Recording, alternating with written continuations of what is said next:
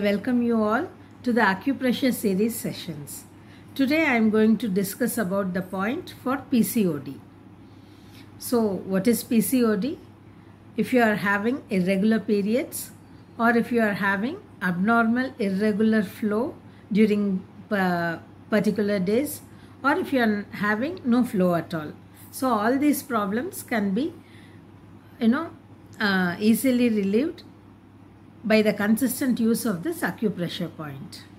So let us see which acupressure point. For that the point is between the mi- middle and ring finger the area beneath it. Okay, this is the area where we are going to give the pressure.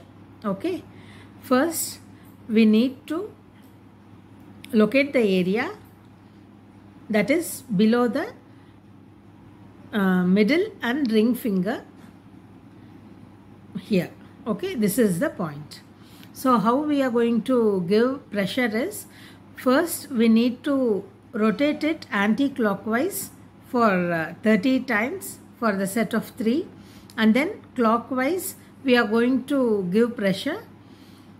Like uh, 30 times we need to rotate it uh, while giving pressure clockwise. That also for a set of 3 and then what we need to do is we need to put firm pressure over that area and then release it. Put a firm pressure and then release it.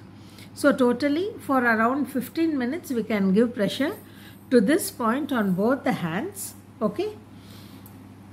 Uh, say for uh, if you are having a if the PCOD problem is a chronic one and for say a couple of years you are facing this problem then you need to be consistent in this acupressure point uh, massage you can massage it you know by applying a little bit of sesame oil also. That will give you more benefits.